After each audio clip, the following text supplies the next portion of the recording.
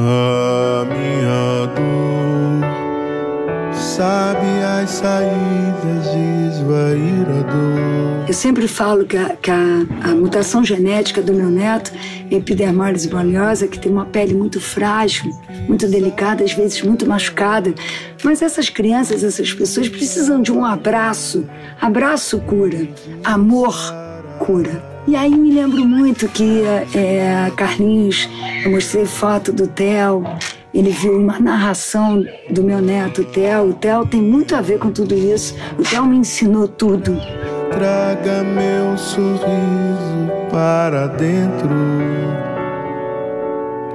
Face de um castigo, sigo domador que sarará que curará, hei de sarar. A gente fez esse mini documentário de cura, né, que foi um pouco do meu encontro com o Brown, com uma pessoa que um parceiraço nessa busca da cura do que não tem cura, em se aproximar da dor do outro, né, em fazer essa ponte entre a fé e a ciência em buscar a força que a cura nos dá. Quando eu chamei o Carlinhos, era para fazer uma música só. Era uma narração, tinha uma história ali.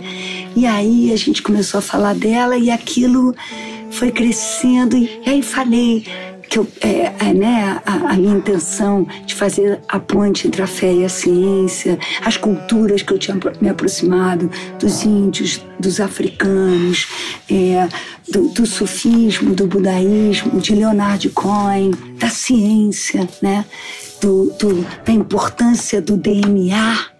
Então eu estava buscando um, um, um som orgânico, mas ao mesmo tempo forte que pudesse chacoalhar a terra, que o céu tremesse. Esperar tem dor, findo as feridas, cicatrizes vivas. E nessa busca da cura, a, o inimigo número um é a ignorância. O inimigo número um é a discriminação. A discriminação ela é extremamente ignorante, ela é terrível. Essa coincidência dessa pandemia e, e a, a, da aproximação da dor, né? Curar é aproximar da dor do outro. É, curar é visitar. Curar é aceitar. Curar é lutar. Sou mais forte que a minha.